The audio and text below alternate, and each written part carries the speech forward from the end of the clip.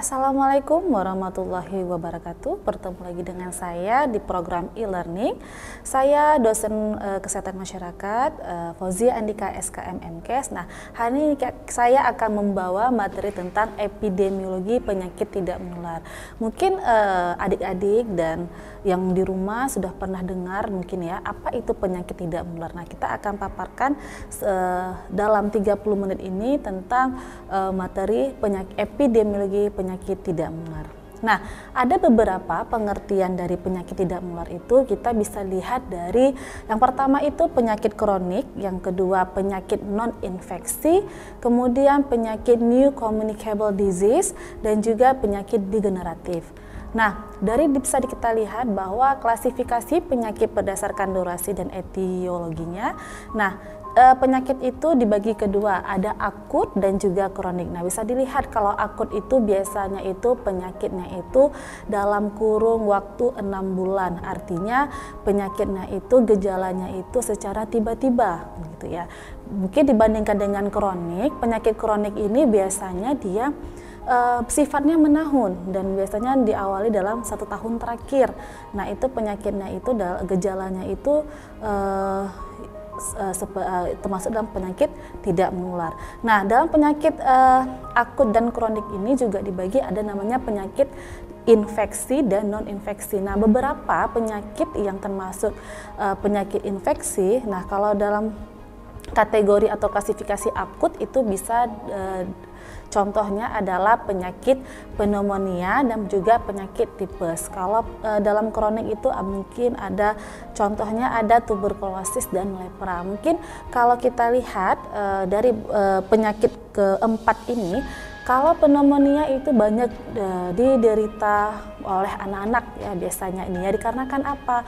Salah satunya mungkin karena adanya e, asap rokok, juga lingkungan tidak baik itu juga salah satu juga penyebab uh, penyakit pneumonia. Nah, kalau tuberkulosis apa? Tuberkulosis itu adalah penyakit uh, eh, TBC. Nah, seperti batuk-batuk dan juga uh, batuk-batuknya itu berdahak gitu ya. Jadi kalau dalam tuberkulosis ini dia pengobatannya itu harus secara uh, maksimal. Artinya apa? Diberikan pengobatan itu dari uh, selama enam bulan seperti itu. Makanya tuberkulosis itu termasuk ke dalam penyakit kronik. Nah, kalau ada non infeksi Non infeksi itu dalam klasifikasi penyakit akut itu salah satunya adalah penyakit e, keracunan. Nah, mungkin ada keracunan makanan. Nah, mungkin dan juga ada kecelakaan. Kecelakaan itu banyak ya, apa kecelakaan akibat kerja, kecelakaan mungkin di e, sedang di apa melakukan perjalanan. Nah, itu juga termasuk dalam e, klasifikasi non infeksi. Nah, kalau dari dari e, penyakit yang kronik, kalau di non infeksi itu bisa e, Contohnya ada hipertensi. Hipertensi sudah tahu kan mungkin tekanan darah tinggi. PJK penyakit jantung koroner, DM diabetes mellitus, degeneratif lainnya. Nah, itu salah satu penyakit uh, kronik gitu. Nah, dari transisi epidemiologi itu bisa dilihat dari ada beberapa. Yang pertama itu kemajuan pembangunan telah dicapai secara menyeluruh telah mempengaruhi berbagai perkembangan dalam kehidupan manusia. Yang kedua, kondisi infrastruktur yang membaik serta perkembangan teknologi kedokteran dan kesehatan menyebabkan angka kematian dan kelahiran yang tinggi menjadi rendah. Jadi semakin baik kondisi infrastruktur, uh, maka semakin uh, menurun juga angka kematian dan kelahiran. Karena apa?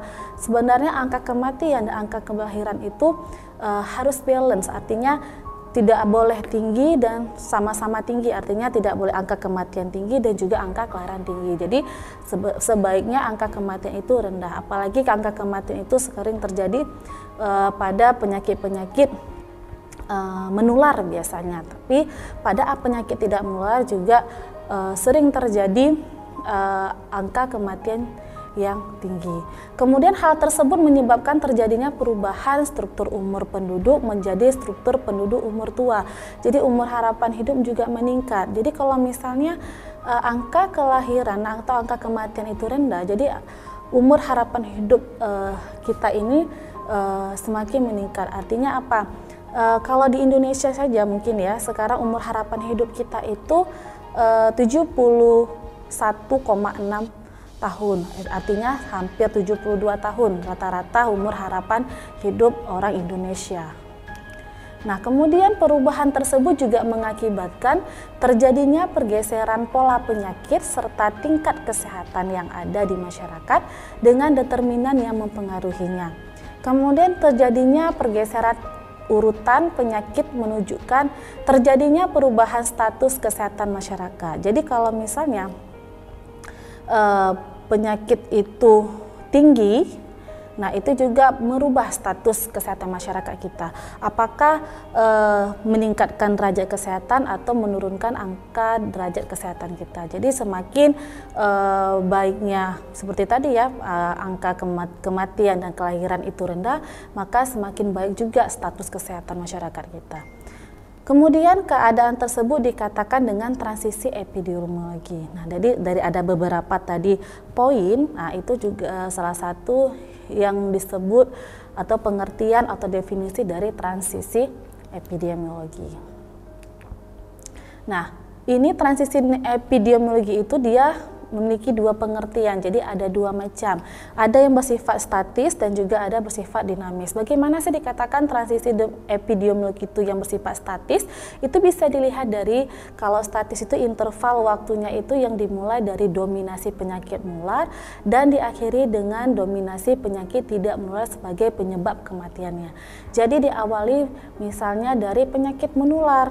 Nah, biasa kan uh, beberapa penyakit menular contohnya misalnya dari flu, Kemudian e, nanti ada penyakit e, diare juga salah satu penyakit e, menular DBD. Nah, itu nanti diakhiri e, dengan penyakit tidak menular sebagai penyebab kematiannya.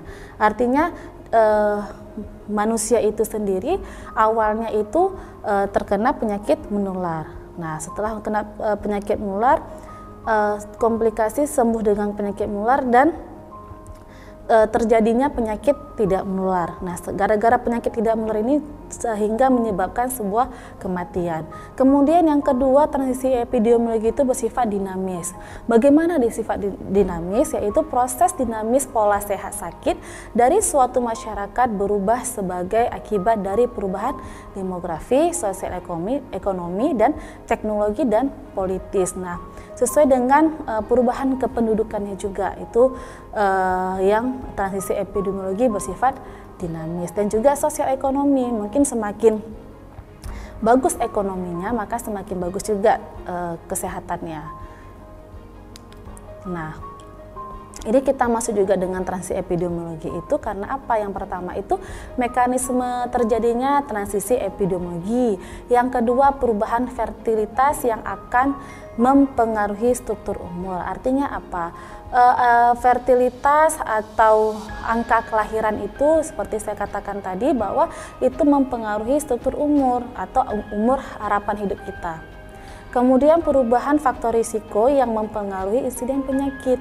Jadi uh, ada beberapa penyakit-penyakit atau kejadian penyakit itu yang uh, memiliki Eh, faktor-faktor risiko tertentu. Jadi dengan adanya perubahan faktor risiko uh, itu dapat mempengaruhi juga insiden penyakit. Kemudian perbaikan organisasi dan teknologi pelayanan kesehatan yang berpengaruh terhadap acute fatality rate. Kalau ini berhubungan dengan angka kematian. Semakin baik perbaikan organisasi, maka semakin menurun angka kematian. Yang kelima, intervensi pengobatan pengaruhnya kemungkinan pengurangan kematian penderita. Pada penderita penyakit kronis, hal ini mutlak meningkatkan angka kesakitan karena memperpanjang rata-rata lama sakit.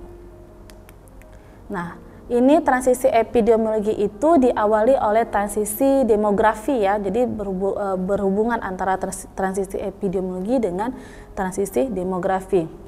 Jadi ada beberapa tahap uh, dari transisi epidemiologi itu ada ada empat tahap. Tahap pertama itu bisa dilihat dari angka kelahiran dan kematian tinggi. Jadi semakin tinggi angka kelahiran uh, juga semakin tinggi angka kematian. Nah, sebaiknya memang bagusnya angka kematian e, menurun dan angka kelahiran menurun.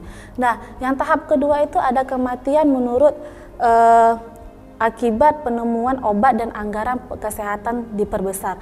Namun angka kelahiran tetap tinggi sehingga pertumbuhan penduduk meningkat dengan pesat. Yang ketiga, angka kematian terus menurun, begitu juga dengan angka kelahiran akibat urbanisasi, pendidikan dan peralatan kontrasepsi. Dan terakhir yang keempat adalah angka kelahiran dan kematian mencapai rendah dan pertumbuhan penduduk kembali ke tahap satu. Nah, untuk eh, sesi yang pertama ini uh, kita sudahi dulu, kita akan masuk ke sesi kedua. Jangan ke mana-mana, tetap di uh, materi saya. Saya uh, akhiri. Assalamualaikum warahmatullahi wabarakatuh.